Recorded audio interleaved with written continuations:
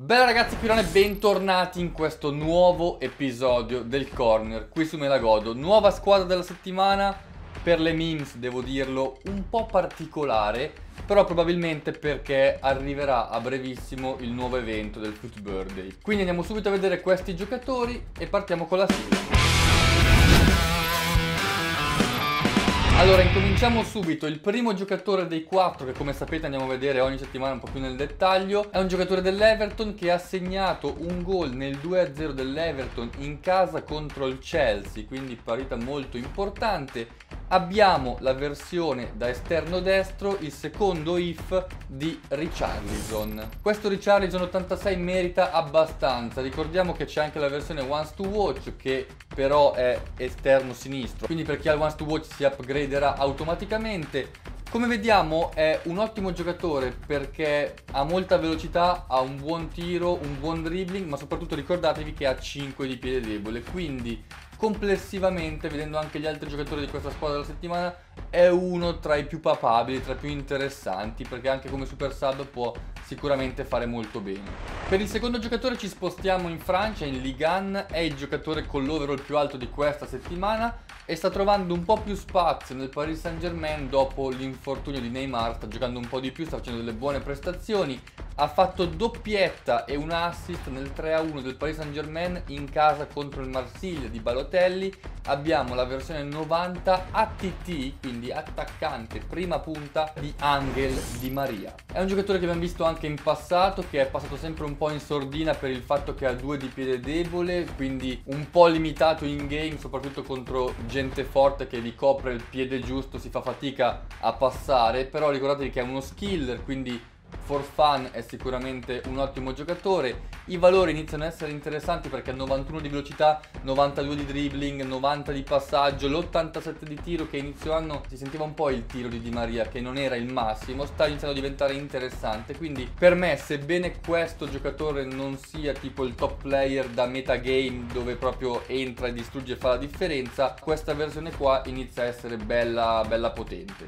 E con il terzo giocatore di oggi facciamo il nostro salto settimanale settimanale in Serie A nel nostro campionato abbiamo De Vrij 86 uno dei pochi giocatori della Serie A che appare in questo Team of the Week ha meritato il suo posto in questa squadra della settimana per aver fatto uno dei tre gol dell'Inter nel derby, bellissimo derby Inter-Milan 3-2 vinto fuori casa dall'Inter Bella partita, lui ha fatto un gol importante, poi è riuscito in qualche modo a salvare la difesa interista, reggendo fino alla fine sull'arrembaggio finale del Milan. Si merita questo suo primo if dell'anno. Non è un giocatore così potente a prima vista, ha 88 di difesa che è ottimo, la velocità è un po', un po', lì, con ombra, diciamo che con ombra come stile di intesa questa carta inizia a guadagnare del valore interessante per la difesa della Serie A che comunque ha tanti rivali, ha tanta concorrenza tra Chiellini, Koulibaly, insomma ce ne sono un po'. Deve giocarsela un po', però tutto sommato per il costo che avrà può essere un buon difensore.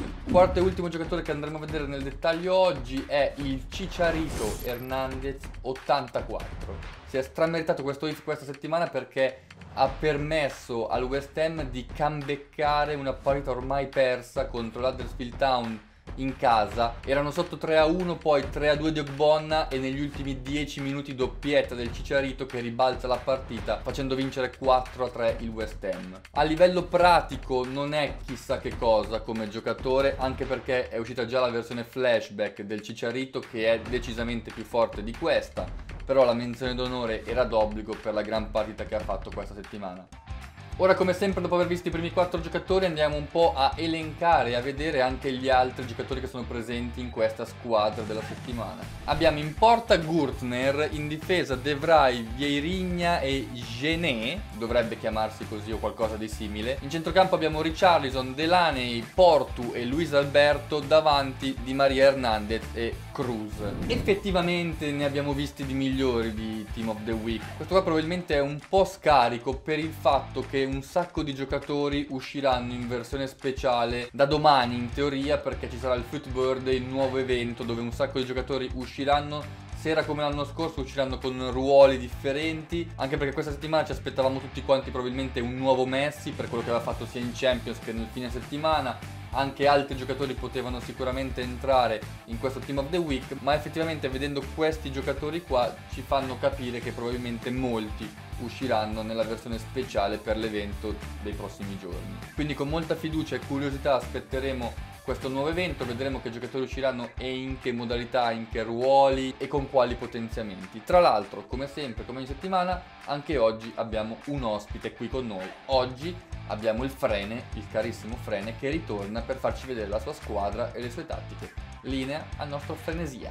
Ciao ragazzi, quest'oggi il nostro Ronnino ha deciso di disturbare il mio letargo. Quindi adesso sono qui a farvi vedere la mia squadra, le mie tattiche e che pantaloni ho, cioè pantaloni del Real Madrid. Allora, iniziamo con il modulo. Dovrei avere il rombo che utilizzo da 4 anni su FIFA, che è quello che mi ci trovo meglio. Utilizzo ripiega, 4 di profondità che in realtà avevo messo 3, quindi non so perché 4. Sì, dopo le numerosi patch avete notato che la CPU va un po' dove gli pare. Quindi poca profondità consiglio e ripiega che ti rientrano in difesa. Purtroppo è un modo di giocare molto brutto, però ahimè se non utilizzo ripiega o a volte equilibrata non mi ci trovo proprio perché la difesa è un disastro completamente. La disposizione della squadra è la seguente, Mbappé a sinistra, Putragregno a destra che rientra con 5 di piede debole, molto utile. Neymar C, Ballack e Pogba CC, Ballack è un po' che puzzolente ma ahimè questo è quello che passa al convento non scambiabile Kanté CDC che mi ci trovo sempre bene. Difesa Marcos Alonso Ferdinand Varan Carval e Van der Sar che penso che sia stato l'acquisto anzi l'SBC più scadente di sempre. La difesa Ferdinand e Varan Ferdinand il suo lo fa Varan pure normale ho provato il Toti non mi cambia niente. I terzini non sono tutto questo granché un po' lenti però i crediti sono quelli che sono magari qua Mendy mi ci trova un pochino meglio, però anche Marco Alonso 88 c'ha una bella cartina, eh non la schifo perché ha fatto l'SBC. Carvalho qua a destra la lo consiglio se magari dovete proprio ibridare qualcuno di specifico, altrimenti vi consiglio Aurie UCL Live che mi ci ero trovato molto bene. Centrocampo Ballack 456 game, 64 gol e 118 assist. Delle partite sembra quasi sveglio. Il restante è tipo un minion. Kanté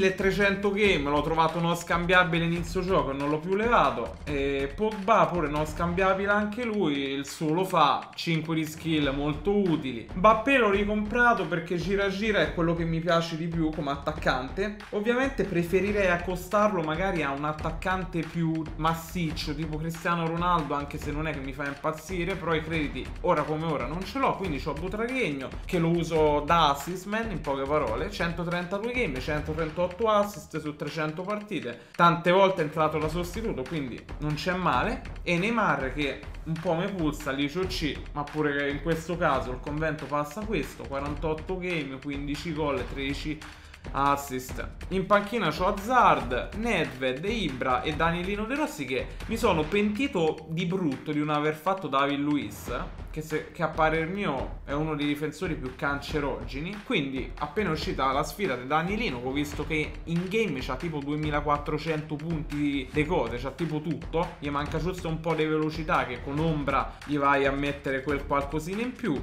E Ibra. Insomma, questa è la mia squadra. Io, regà, spero di vedervi presto. Adesso passo la parola a Ronnino che deve concludere il video. Ciao belli! Grazie Frane per il tuo contributo, come ogni settimana fatemi sapere nei commenti cosa ne pensate di questo Team of the Week, cosa ne pensate della squadretta del Frene e anche se pensate che sia giusto il ragionamento che ho fatto io di avere un Team of the Week un po' più scarico in attesa del prossimo evento. Come sempre vi ringrazio ragazzi, vi ricordo c'era un bel mi piace, riceviamo qua su Me la Godo come ogni mercoledì settimana prossima alle ore 16 con un nuovo episodio del Corner. Per oggi abbiamo finito ragazzi, qui da non è tutto, alla prossima.